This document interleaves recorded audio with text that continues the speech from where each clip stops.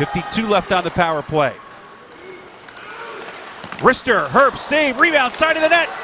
Poke toward the net and in! Lehigh will win in overtime. Chris Ramondelli will backhand it home, and the Mountain Hawks score a power play goal to take it 5 4.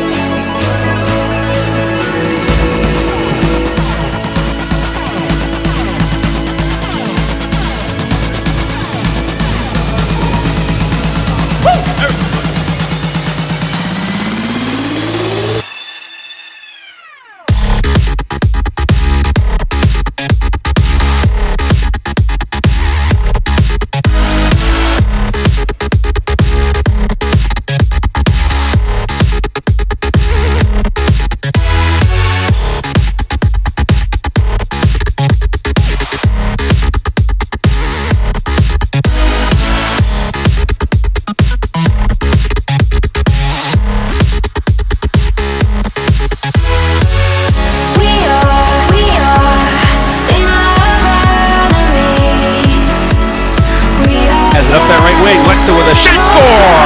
Ryan Lexa with a quick snapshot, his fourth of the year.